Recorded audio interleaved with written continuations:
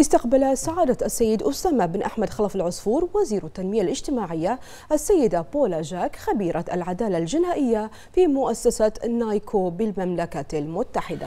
وخلال اللقاء أكد سعادته التزام مملكة البحرين المستمر بقيادة حضرة صاحب الجلالة ملك البلاد المعظم بتعزيز العدالة الإصلاحية للأطفال وحمايتهم من سوء المعاملة. منوها بحرص حكومة المملكة برئاسة صاحب السمو الملكي ولي العهد رئيس مجلس الوزراء على ترسيخ الريادة البحرينية إقليميا ودوليا في مجال رعاية الطفولة.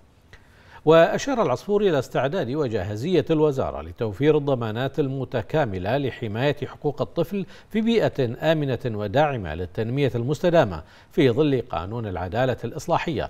إلى جانب الشراكة مع مختلف القطاعات ذات العلاقة بتنفيذ الأحكام التي كفلها القانون لتطوير منظومة العدالة ودورها في تعزيز حماية حقوق الطفل.